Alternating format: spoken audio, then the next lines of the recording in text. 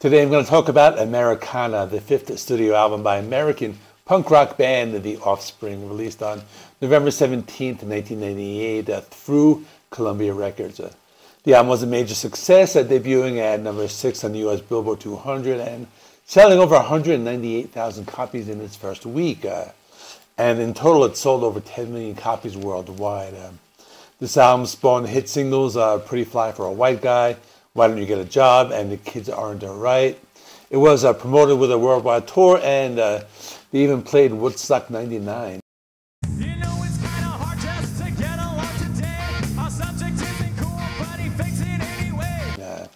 This album features a variety of music styles from the pop punk and skate punk of the singles to the uh, Latino influenced uh, Pretty Fly for a White Guy, the psychedelic Pay the Man, uh, and the album is also a critique of American culture, touching on subjects like consumerism, racism, violence, uh, alienation, and the American dream. You know. The album was recorded and mixed at Eldorado Recording Studio in Burbank, California from July to September 1998 with producer Dave Jerden, who also produced the previous album, Ixnay and Hombre. The band experimented with different musical styles such as uh, Latino, psychedelic, and progressive rock, but they still maintained their punk rock roots. According to Dexter Holland, America, Americana was a commentary on American culture, it was a satire of uh, a typical American political correctness. Uh, one of the influences was the Jerry Springer show. Uh, the band even considered naming the album after the show's the news tickers, such as uh, Stripper Wars. Uh, Holland was also inspired by people living in Huntington Beach. Uh, as I was doing my research, I actually learned a new word, and I'm not sure if I'm allowed to say it. So uh, here it is on the screen. Wigger. A Caucasian person, typically young and male, who dresses, speaks, or otherwise behaves in a manner that is stereotypically associated with certain aspects of African American, Caribbean, or hip hop culture. So basically, uh, that word is uh, the inspiration for.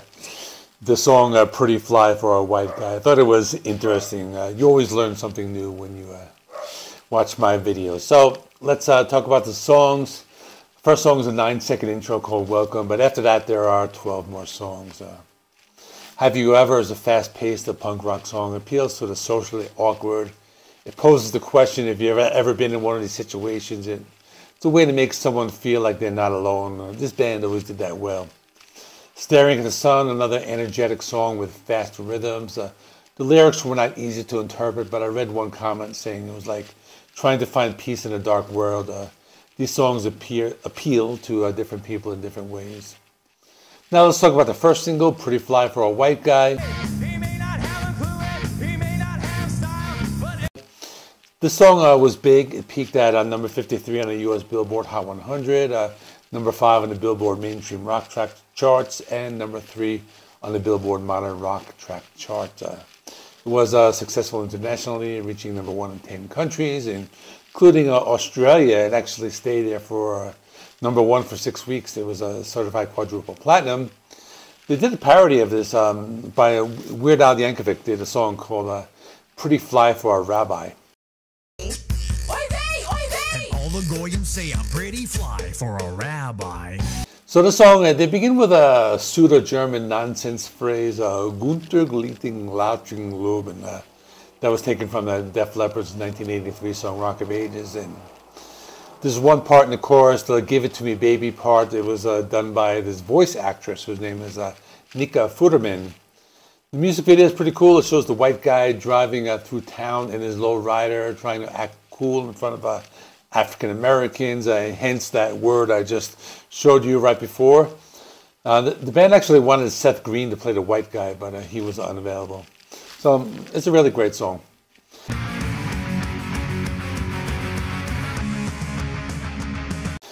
Then the other single, uh, The Kids Aren't Alright, that's the third single. Uh, this was a top 10 hit on the US Modern Rock Tracks chart. Uh, the song was played at the end credits of uh, Woodstock 99 Peace, Love, and Rage uh, documentary, and it was uh, the opening scene of The Faculty, and it appears on the soundtrack. The song's title was inspired by the Who song "The Kids Are Alright" from my generation, uh, and the song lyrics uh, tell stories of several people from the town and the problems they faced growing up, such as unplanned pregnancy, unemployment, drug addiction, and suicide. It was uh, based on the real experiences of uh, Dexter Holland.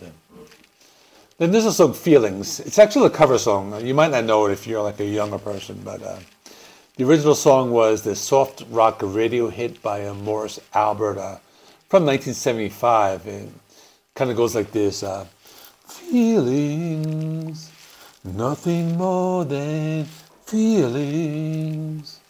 Trying to forget my feelings of love. Okay, let me continue. Uh, this uh, song doesn't sound anything like that. It's an energetic punk rock song. Uh, it's okay. Maybe one of the weaker songs. I kind of found it to be cheesy, but it's still, it's okay. Now uh, let's talk about She's Got Issues, uh, one of my favorites.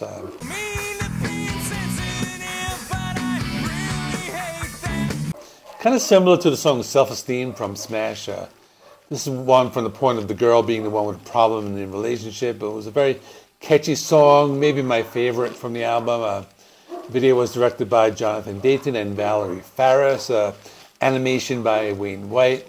And this depicts a usual workday of a young woman, and she was played by Zooey Deschanel, who was pretty much unknown at the time.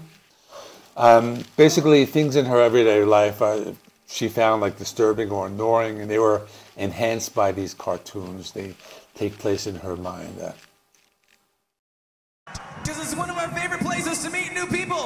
song's called Walla Walla.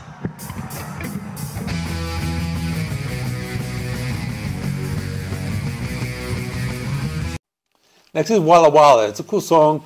It's about a person who has committed many crimes but has always gotten away with it. Uh, his life eventually catches up with him and he get, and ends up getting sentenced to a long prison sentence. Uh, song is making fun of him. Uh, I imagine it's about a real person. The end of the line, it's a fast punk rock song. It's very heartfelt. It's about reminiscing about a friend who has died. The band has had a few songs like this one. I like the psychedelic rock style breakdown in this one as well. No Brakes is an old school fast punk rock song. Uh, I tried to interpret the lyrics. I wasn't really sure. I read a few comments saying that it was about an old video game called Crazy Taxi 2, but I'm not really sure, so I can't confirm that. Now another uh, great song, Why Don't You Get a Job, another uh, single.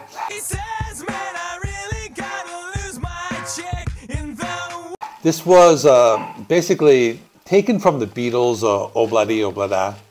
They changed the lyrics. People say they ripped it off, but uh, according to the lawyer, he said that, like, quote, other than speculation, no one's made or threatened a claim on the matter. So it's pretty much they took the rhythm. That's basically it. It's a fun song, uh, like people who don't like to work and live off of other people. Was a second single, peaked within the top 10 in the charts in many countries, including uh, number two in the UK, Australia, Iceland, and Sweden. Music video, several cameos, such as Bob Eubanks. Uh, he hosts this parody dating show, and uh, another cameo from Pussycat Dolls member Carmen Bachar. Then there's the title track. It has some cool, uh, you know, slow parts. He plays guitar riffs in the first part of the song, and it was uh, almost like doom metal, but the song is about life in the United States. Mentions uh, cable, uh, fast food, shopping malls. Another, another great song I like listening to. Pay the Man is the last song. It was very different. It's an eight minute long song, had some slow tempos, Middle Eastern guitar riffs. The vocals were very psychedelic, and it was a weird song. It didn't sound like punk rock. It sounded more like early Pink Floyd. It was pretty cool the last song on the album, not counting the reprise of Pretty Fly for a White Guy. Uh, for my final thoughts, this is definitely my uh, favorite album by the band. I like it more than Smash. Um, I had this on a cassette when it came out. So back then I was working in this factory. I had a cassette Walkman. We were able to listen to music uh, at work uh, while we had headphones and back then we didn't have mp3 players or we didn't have cell phones so we listened to music on cassette or maybe just a radio so uh, for that reason, I had this on repeat back in the day, and I really like it a lot. So that is all. Let me know in the comments what you thought of this album. Uh, check out my ranking of the Offspring albums right here. Please like this video. It helps me with the YouTube algorithm. Uh, please subscribe if you have not already. I will uh, see you in the next one.